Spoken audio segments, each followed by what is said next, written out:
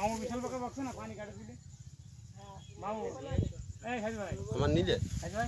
এই ঘাস শুদ্ধ বিশাল বকছে না পানি কাটে কৃষি মোদের সোনার খনি কৃষি মোদের অহংকার কৃষি দিয়ে গর্ব মোরা শান্তি সুখের সংসার।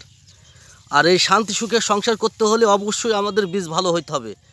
কারণ যারা চাষাবাদ করে তাদের বিষয় হচ্ছে আলাদা। আর যারা যারা চাকরি করে তাদের বিষয় হচ্ছে আলাদা। যারা চাষ করি তাদের বীজ ভালো না হলে ফলন কীভাবে আসবে? তাইতে আমাদের অবশ্যই বীজ ভালো হইতে হবে। সে ধানের বীজ হোক, পাটের বীজ হোক আর ভুট্টার বীজ হোক, বীজ ভালো হইতে হবে এক কথায়। ভালো বীজই ভালো ফলন। যেমন সুস্থ মায়ের কাছে একটা সুস্থ সন্তান আশা করা যায়, ঠিক ভালো বীজের কাছে একটা ভালো ফসল আশা করা যায়। যাই হোক, আমরা ধানের জমি ভিজিট করতে আসছি মোহাম্মদ বাকু ভাই জমি। এখন তার সাথে আমরা কথা বলব। আসসালামু আলাইকুম। ওয়ালাইকুম আসসালাম। এই যে ভাই আমরা ধানের জমি ভিজিট করতে আসছি আপনার এই যে জমি। ভালো ভিজিট করতে আসছেন ভালো হয়েছে। আচ্ছা আমরা খুশি হলাম। খুশি হয়েছেন? জি। আচ্ছা এখন ধানের কি অবস্থা? ধানের অবস্থা এবার আমাদের মাঠে প্রচুর ধান তবে ধানের যে সুন্দর যে আকৃতি বা ধানের যে সুন্দর বালগুলো আমরা দেখতে পাচ্ছি তবে আমাদের খুবই যান বা আমাদের মন ভরে গেছে। তবে এই বরু এই যে আপনার এই ইরি মৌসুম চৈতে যে ইরি মৌসুম আছে এই মৌসুমটা যে আমরা ধান দেখে আমরা কৃষক খুবই খুশি। এর মাঝামাঝি আমরা মনে করছি যে ধানটা যেভাবে দেখছি কয়েকটা ধান আমরা দেখতে পাচ্ছি যে ধানের আগা সাদা হয়ে যাচ্ছে। তে এর প্রতিক্রিয়া আমরা ভালো করতে পারছি তবে সেই ধানের ইয়ে ছবিটা আপনাদের আমি একটু দেখাচ্ছি। ধানের যে বাইলটা ধানের বাইল যে মানে এই দেখেন দেখতে পারলে আপনি একটু ভালো খেয়াল করে দেখেন। তুলে ফেলেন ওইটা কি অবস্থা দেখি। আচ্ছা দেখেন এটা ধানের মাথা দেখেন বা সাদা হয়ে যাচ্ছে।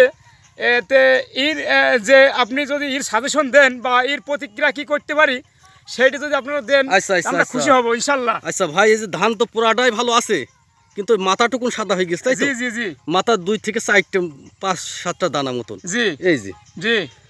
আচ্ছা। এরকম অবশ্যই সাজেশন দেবো। ধরেন আমি একটু ক্যামেরায় নিয়ে নিই। এই যে সাদা হয়ে গেছে। জি। আচ্ছা এর প্রতিকার অবশ্যই আমরা সাজেশন দেবো। জি। যাই হোক আপনার ধানে পুরা জমি মিলে মনে হয় এরকম সিস্টেম মনে হয় বিশ থেকে পঁচিশটা মতন বা পঞ্চাশটা মতন হবে। সীমিত। সীমিত একদম সীমিত আচ্ছা এর কি রোগ লেগেছে আপনি একটু বলেন আপনি তো জানেন ভালোই চাষ করেন। আমি আমরা যা মানে বিষ ব্যবহার করেছি সেই হিসাব নিকাশে আমাদের তো এই রোগটা লাগার কথা নয় কিন্তু আমরা এদিন দেখতে পাচ্ছি যে ধানের এই রোগটা আমরা দেখতে পাচ্ছি যে কিছু কিছু জায়গায় যে এই বাইল মাথা সাদা হয়ে যাচ্ছে। যে এটা আপনি তো যে দেখতে এসেছেন তাহলে আপনি এর কি ব্যবস্থা করবেন সেটা আপনি তো এখন মোটামুটি আপনি কি প্রকার লেগেছে সেটা জি, বলেন। জি। আমরা দেখতে পাচ্ছি কিছু ধানে মাজরা এবং এই শোষক পোকা।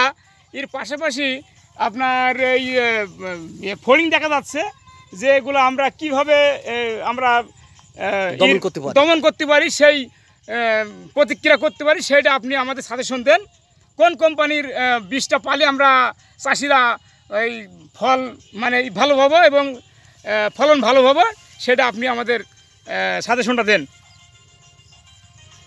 তো যাই হোক যে অবস্থা দেখছি জমির ধান আপনার হচ্ছে মূলত পোকার আক্রমণ আছে। পোকা বলতে মাজরা পোকা আপনার মাজায় থেকে মেরে দেয়। আর শোষক পোকা আপনার ওই যে ছোট ছোট শোষক পোকা চোখে দেখা যায় না ওইগুলো আপনার হচ্ছে বাইল চুষে খায়।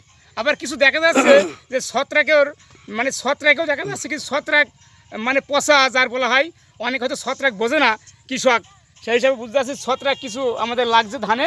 এর এর বিষয়টা আপনি একটু বলেন কীভাবে আমরা এই সমাধান করতে পারি? কোন সমাধান হচ্ছে মাজরা পোকা পোকার জন্য মূলত আপনি দেবেন হচ্ছে কাটাপ গ্রুপের এসিআই কোম্পানির আর এসি মিক্স হচ্ছে পঞ্চান্ন এসি এই দুটো একশো গ্রাম এক বিঘেই একশো একশো গ্রাম সুন্দর করে মিশিয়ে তিন ঢম পানি করে পুরো জমিতে ভালো করে স্প্রে করবেন। ওটাতে আমরা আজই আজকে করবেন। আচ্ছা। আর আরেকটা বিষয় হচ্ছে আপনি হচ্ছে অ্যামিস্টার টপ দেবেন সিনজেন্টা কোম্পানির ছত্রাকের কাজ করবে এবং পাঁচ মন ধান বেশি হবে।